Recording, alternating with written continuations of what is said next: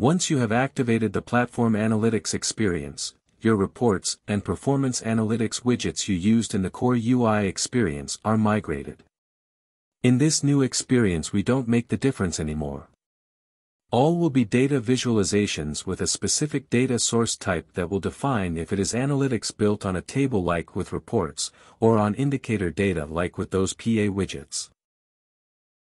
After migration all those reports, and possible PA widgets, will be visible here in the Data Visualization Library.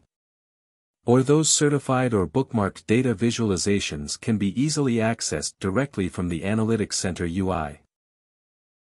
The editing of those data visualizations will be done through the Visualization Designer.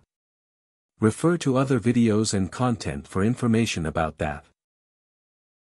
Previously, with using analytics and reporting in the core UI, you would have all these different menus, related to a specific data source analytics type.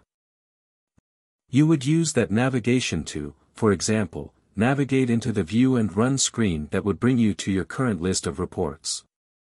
That will change, where those reports will be data visualizations now that you can access through the Data Visualization Library within the Platform Analytics experience. Also there you would have different views to see if a data visualization is shared with you, or if it's just one that you maybe created yourself.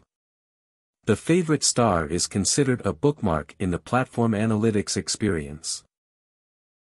The same thing counts for those performance analytics widgets you might have created in the past. Remember, we see them as just a different data source, but it will be the same unified consistent data visualizations in the platform analytics experience. So expect any widgets you might have had to migrate into new data visualizations that you can easily access through the Data Visualization Library.